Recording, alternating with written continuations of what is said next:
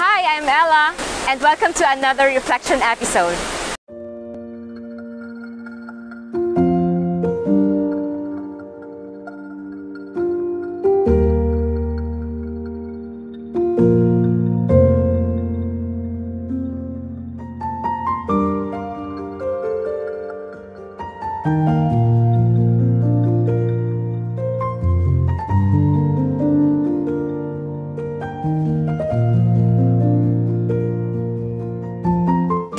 Height, the depth, and even the power of the falls from its top to bottom can seldom be fully measured.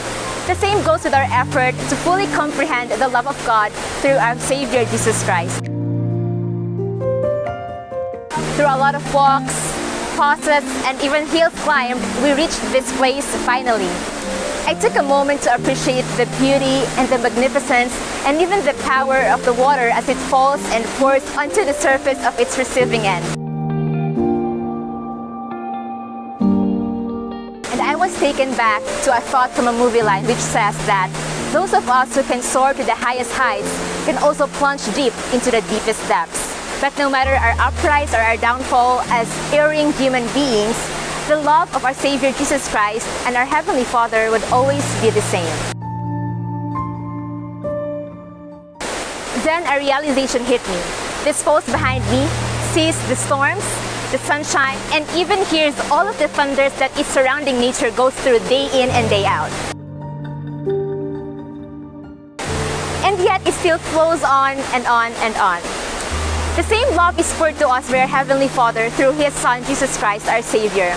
No matter if we are going through the strongest winds, the hardest storms, and the most raging sunshine, this love, so powerful and magnificent, even promised all of us that when we get through deep waters, He will be with us. And it's amazing how, when you feel like you're sinking or drowning with problems in life, the promise is we have a Savior who walks on water. Our God, who can divide a sea to make way for His children, will also make way for the problems that you are facing today in your life. Like this falls, I do believe that eternally, whether you are perfect or not, whether you are sinful or not, the love of our Heavenly Father in Jesus Christ will always be ever flowing into your deepest soul. We are now in the last days, and people are trying hard to find what love is. A lot of people are looking for that kind of love which can surpass all understanding. But this love, no matter how ever flowing and abundant, will never reach your heart unless you are empty yourself. Sinful or not, the only way to receive God's love is to empty the cup that He will fill. And then, by God's grace, when you receive this kind of love, please try not to withhold this kind of love to everyone you meet.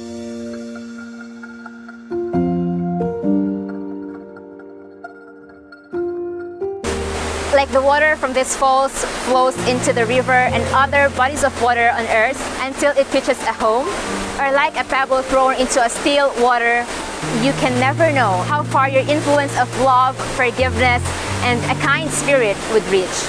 So let's try to daily empty ourselves from selfishness, pride, unkindness, and an unforgiving spirit, and receive love from the ever flowing source of it and let this love emanate from the deepest parts of your souls to the hearts of others. God bless you and thank you for watching this. Huh, God bless you and thank you for watching this episode.